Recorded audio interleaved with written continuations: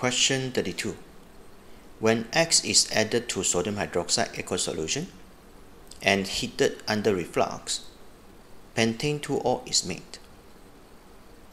First, we need to find the uh, identity of X.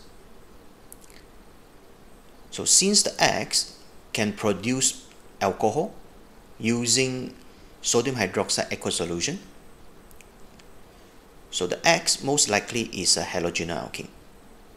We can deduce the structure of X from the pentan-2-ol. Okay, this one is the structure of pentan-2-ol. First carbon, second carbon. On the second carbon, there is OH. So if we want to find the halogenoalkane that produce this pentan-2-ol, we just need to replace the OH with the chlorine. So means the X is the 2-chloropentane. So 2-chloropentane using the sodium hydroxide aqueous solution reflux, so it will produce the pentan-2-ol. Okay, now we get the X and we can use it for the question.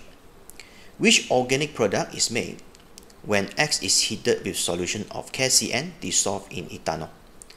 This is also a substitution reaction, but now we use the cyanide ion to substitute the chlorine.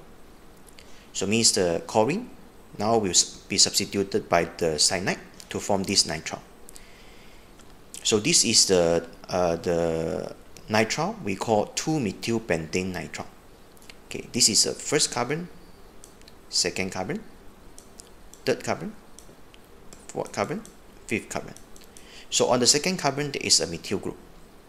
Right, so this we call 2-methyl pentane nitrile.